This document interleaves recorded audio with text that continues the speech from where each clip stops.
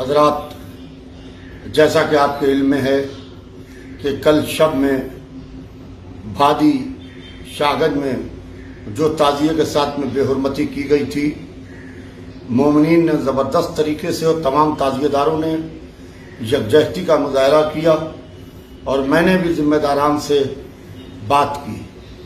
अल्लाह का लाख लाख शुक्र है, वह इंस्पेक्टर लाइन हाजिर हो चुका है।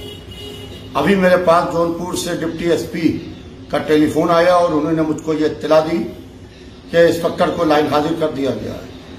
तो मैंने उनसे कहा कि लाइन हाजिर नहीं, बल्कि उसको मुअत्तल किया जाए और उसको बाकायदा बर्खास्त किया जाए, क्योंकि उसने जो ताजिए की बेहरमती की है, इसको हरगिज हरगिज बर्दाश्त नहीं किया जाएगा। लिहाजा मैं अपने इस वीडियो पैगाम के ज़रिए से पूरे मुल्क के मोमिन से और तमाम ताजिएदारों से मुतहद होने की अपील करता हूँ। आप मुतहद रहें इन अदादारी को जब बनी मैया और बनी अब्बास न रोक सके, तुर्क व तातार न रोक सके, जालिम व जाबिर बादशाह न रोक सके तो आज की ये चंद बरस की हुकूमतें कैसे रोकेंगी? इस वक्त मैं मुंबई में हूँ और मुंबई में तकरीबन सौ बरस से हमारे खानवादे हमारे घराने के यहाँ को परादारी के सिलसिले में शामिल रहा है। अट्ठावन बरस मेरे वालिद ने यहाँ मजालिस को खिताब किया है। उससे पहले चालीस बरस मेरे जद, मेरे दादा ने मजालिस को खिताब किया है। फिर मेरे अम्मे मोहतरम ने और अब हम मेरे भाई मौलाना एजाज अतर साहब मजालिस को यहाँ के ऊपर खिताब कर रहे हैं और बॉम्बे के मुहर्रम को में हमेशा यही रहते हैं दस दिन। बहरहाल इस वक्त जो मसाइल सामने आ रहे हैं, उससे मैं आपको रूबरू कराना बेहतर समझता हूँ। यूपी गवर्नमेंट ने कोई गाइडलाइन अभी तक के जारी नहीं की है। डीजीपी की एक विवादित गाइडलाइन आई थी, जिसमें उन्होंने अब शब्दों का इस्तेमाल किया था।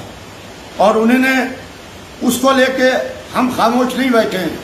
हमारा लीगल सेल उसको लेके बहुत पहले से गौर कर रहा है और हम इंशाल्लाह पिटीशन फ़ाइल करेंगे। और हम कोर्ट में जाएँगे और खाली कोर्ट में नहीं जाएँगे, बल्कि हम उसको रिमूव करने की और उसको वापस लेने की बात करेंगे। वरना ये डीजीपी की गाइडलाइन हमेशा मुहर्रम में यही गाइडलाइन जारी होगी। इस वक्त बहराइच नवाबगंज में ताजिया लेकर कुछ बच्चे जा रहे थे थाना नवाबगंज बहराइच में तो उनसे ताजिया को उनके हाथ से लेने की कोशिश की गई।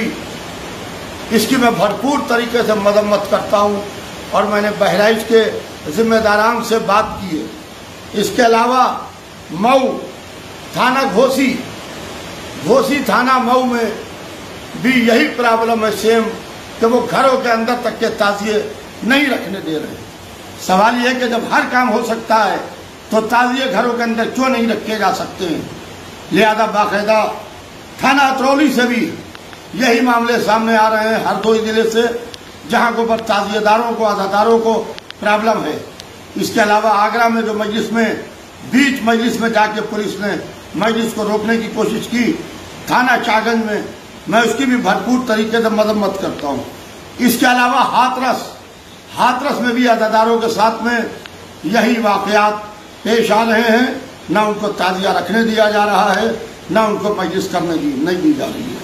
लिहाजा हिंदुस्तान में जहाँ जहाँ के ऊपर भी ताजेदारों के साथ में, अदादारों के साथ में प्रॉब्लम फेस आएगी तो मैं एक खादिम कौम की हैसियत से आपके सामने हूँ और इन हर वक्त आपके साथ हूँ। फ़कत वक्त सलाम